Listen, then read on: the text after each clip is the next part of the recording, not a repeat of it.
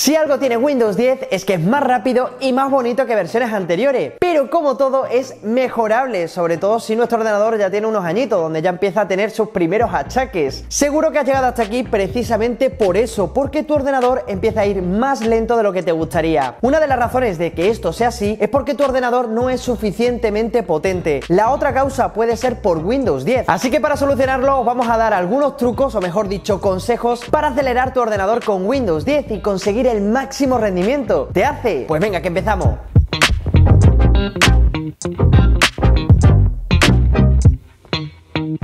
Hola, ¿qué tal? ¿Cómo vais? Espero que muy bien. Bienvenidos a un nuevo vídeo, a un nuevo tutorial aquí en Urban Tecno. A mí ya me conoces y si no me conoces me presento. Soy Juan Antonio Morales y me puedes seguir en todas mis redes sociales como arroba juanantogil. Te animo a que lo hagas. Le ha costado, pero Windows 10 ya es el sistema operativo más utilizado en equipos de sobremesa en todo el mundo. Y bajo mi punto de vista, la mejor versión de Windows hasta la fecha, aunque sobre esto último hay opiniones para todos los gustos. Lo que sí que es objetivo es que si quieres sacarle el máximo partido a tu ordenador con Windows 10, solo puedes hacer una cosa, si no lo has hecho todavía, cosa que me parece muy extraño, y es suscribirte por aquí debajo al canal para no perderte futuros tutoriales como este, y por supuesto, no te olvides de darle la campanita. La primera razón por la que tu ordenador de mesa o portátil se haya vuelto lento puede ser a que esté infectado por algún virus o malware, suele ser bastante habitual, de hecho creo que nos pasa o nos ha pasado a todos alguna vez. Por ese motivo, lo más recomendable es pasar un antivirus a nuestro equipo para así detectar y limpiar cualquier tipo de infección en el equipo. Aunque no lo creas, Windows 10 ya trae un antivirus preinstalado, Windows Defender. Sin embargo, es verdad que es muy limitado, así que lo mejor es instalar otras herramientas de seguridad que sean más completas sobre todo. Windows Defender, es verdad, es muy justito en esto. Los tiene incluso gratuitos, tales como Avira, Bitdefender o Avast, que yo creo que es el más conocido. Te los dejaré enlaces de todos ellos en la caja de descripción. Todos están diseñados principalmente para prevenir que programas dañinos que instalemos o hayamos instalado infecten nuestro ordenador. Es por eso por lo que merecen la pena. Sin embargo, aunque esto está muy bien, es verdad que muchos antivirus son responsables de que nuestro PC o portátil vaya más lento de lo que nos gustaría, debido en gran parte a la cantidad de recursos que utilizan este tipo de software y la necesidad de estar siempre ejecutándose en segundo plano. Por eso si tienes instalado un antivirus y te va lento, quizá lo más aconsejable es desinstalarlo y comprobar si así te va mejor. Si no te convence eso de estar sin antivirus, prueba a instalar otro. La primera función de Windows 10 que vamos a utilizar para optimizar nuestro ordenador con Windows 10 es precisamente esta, la de optimizar el disco duro. Para eso tenemos que entrar en el explorador de archivos e irnos directamente al apartado de este equipo. Aquí tenemos nuestro disco local, tendremos que pulsar con el botón derecho e irnos a propiedades. Aquí encontraremos la opción de herramientas y ahí vais a, a comprobar esa función de optimizar y desfragmentar la unidad. Aquí mi recomendación es darle a optimizar y de esta manera vamos a poder optimizar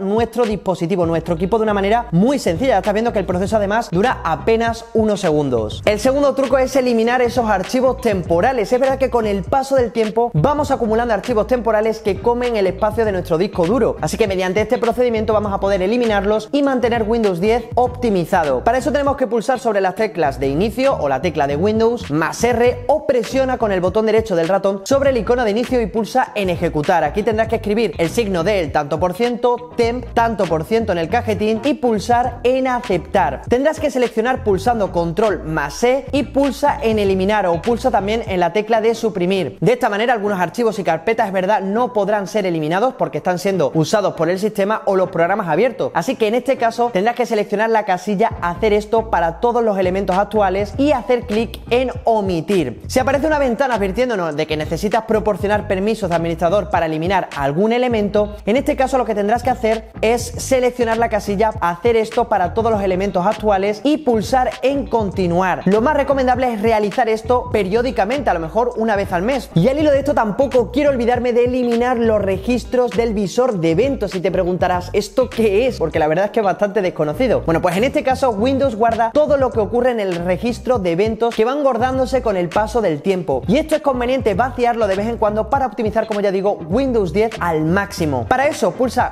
con el botón derecho sobre el icono de inicio y haz clic en la opción de visor de eventos. Espera que se abra la ventana y despliega la carpeta de registro de Windows en el panel de la izquierda. Ahí tendrás que seleccionar aplicación con el botón derecho del ratón y pulsar en vaciar registro. Haz clic en borrar en la ventana emergente que te aparece, una vez al mes más o menos. Haz lo mismo con seguridad, instalación y sistema. Estos registros no son necesarios a no ser que seas un administrador de red y cargas la memoria del ordenador, es verdad. Este vaciado de registros conviene hacerlo, como ya te digo, también una vez al mes como la función anterior. ¿Qué te están pareciendo todos estos truquinos, todos estos consejos? Ya sabes que si te va gustando este tutorial me lo puedes agradecer con un gran like y si conoces alguno otro también me lo puedes decir en los comentarios porque también queremos ponerlos en práctica y por supuesto te animo a que lo compartas en tus redes sociales, en Twitter, en Facebook, donde quieras y por supuesto con tu tío, con tu primo, con tus amigos también para que conozcan algunos de estos consejos para optimizar un poquito más su ordenador con Windows 10 si ves que le van bastante lento. Otro consejo es limpiar los discos duros para optimizar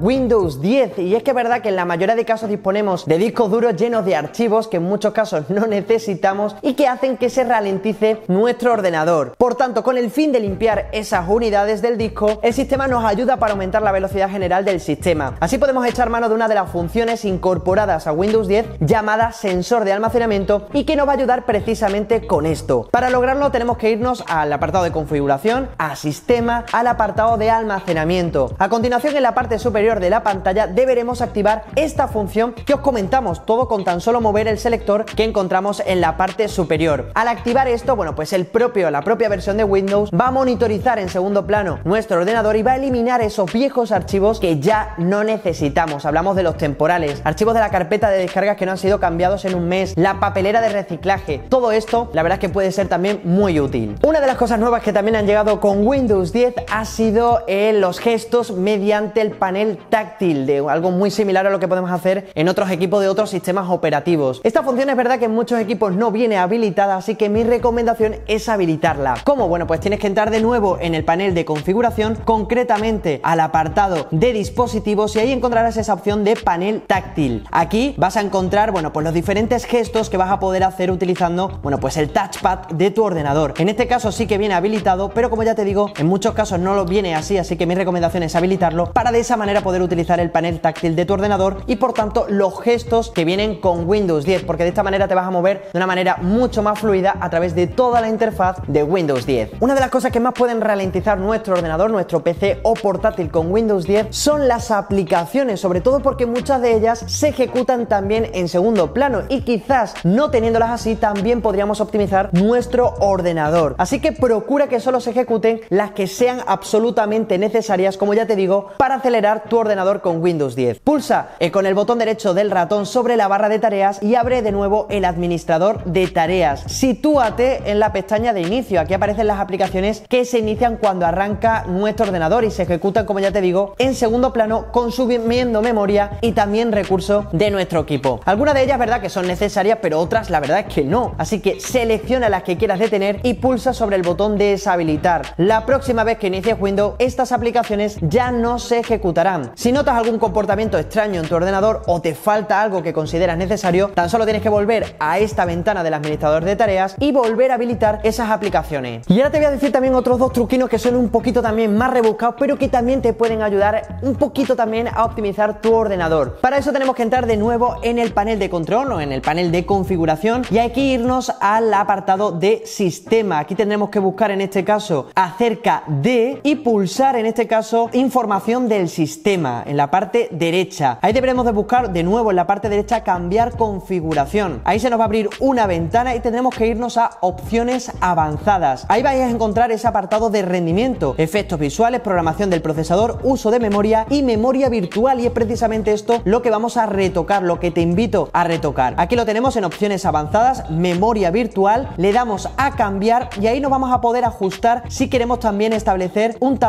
personalizado de esta manera que nos va a decir en la parte inferior lo más recomendable, así que aquí podemos poner lo que queramos y de esta manera si lo hacemos vamos a poder mejorar un poquito también eh, bueno pues el rendimiento de nuestro equipo. Y ahora vamos a irnos atrás al apartado de efectos visuales porque aquí también vamos a poder ajustar a nuestro gusto las animaciones. De esta manera también vamos a mejorar un poco, bueno, pues la sensación de fluidez a la hora de movernos por la interfaz de Windows 10. Aquí vamos a poder ajustar para obtener la mejor apariencia o ajustar para obtener el mejor rendimiento. Así que me parece también muy útil, muy necesario también poder, bueno, pues habilitar lo que queramos para, como ya te digo, pues mejorar también la experiencia con Windows 10. Y si queremos jugar con el rendimiento que puede dar nuestro ordenador, si queremos irnos al máximo rendimiento o al mínimo posible, tenemos que irnos también al icono de la batería, porque precisamente aquí vamos a poder ajustar el máximo o el mínimo rendimiento que puede dar nuestro equipo y por lo tanto también puede afectar a la batería, así que es algo que podemos ajustar, como ya te digo, desde aquí. Con el paso del tiempo, al usar también nuestro ordenador, el sistema recopila nuestras actividades, nos ofrece también consejos sobre lo que podríamos necesitar más adelante. Es por este motivo por lo que, bueno, pues muchos casos se quejan de la falta de privacidad aquí, así que una manera también de acelerar el rendimiento de nuestro ordenador, del equipo, es especificando que no queremos ver estos mismos consejos. Para ello tenemos que hacer uso de la combinación de teclas eh, de Windows más I para situarnos en configuración e irnos directamente al apartado de sistemas, notificaciones y directamente al apartado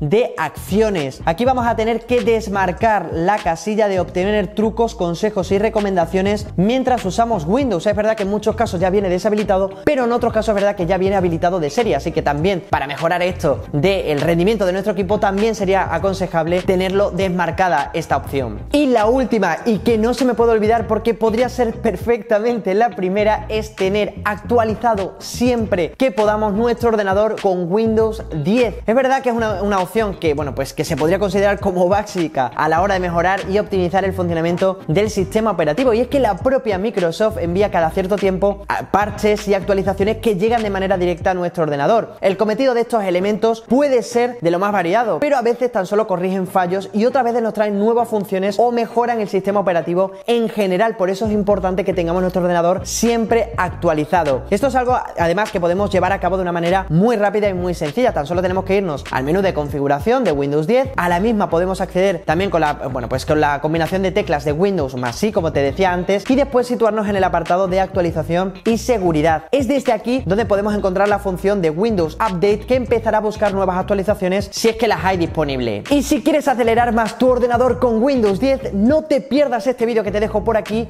de mi compañero Pablo porque también te va a ayudar precisamente a ello. Espero que te haya gustado este tutorial, si es así te agradeceré muchísimo como siempre que me des un gran like, un gran me gusta que no cuesta nada y nos vemos en la próxima.